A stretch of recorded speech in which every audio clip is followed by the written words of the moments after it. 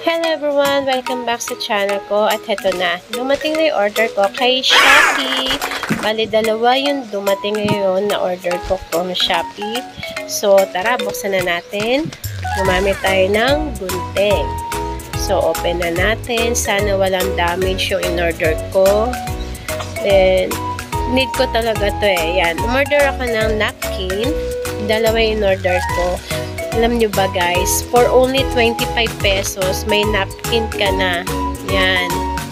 Napkin, 10 pieces pa yan ha. Ang pangalan ay Los Lanos Napkin. Ultra thin, mahaba siya. First time ko lang siyang gagamitin guys. So, excited na ako. Sana okay. Then, punta naman tayo sa pangalawang in-order ko. Tara, open na natin.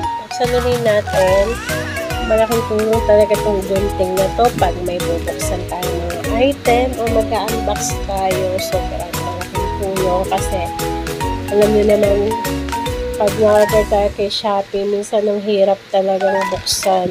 Sobrang dami ng tape tulad nito.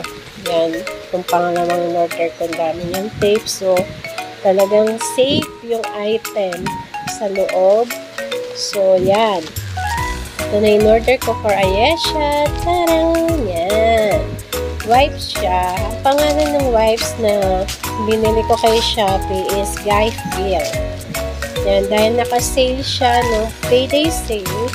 For only 160, meron ka ng 5 pieces or 5 packs na Guy Feel wipes na 80 pieces per pack siya.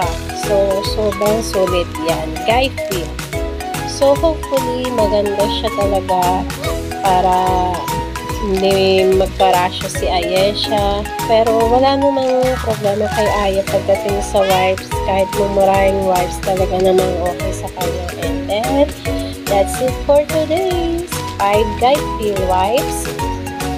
And two napkins. So, yan na nga yung mga in-order ko. Then, once again, thank you everyone for watching my vlogs. And don't forget to subscribe, like, and share my videos. Bye-bye! Mwah, mwah, mwah! I don't wanna say anything Cause if I do I might say the wrong words Oh no So keep my mouth shut and not listen Afraid I'd